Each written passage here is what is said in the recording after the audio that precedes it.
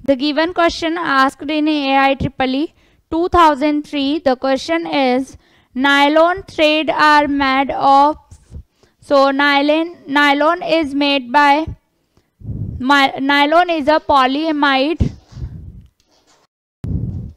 and it is made by adipic acid and hexamethylene diamine okay?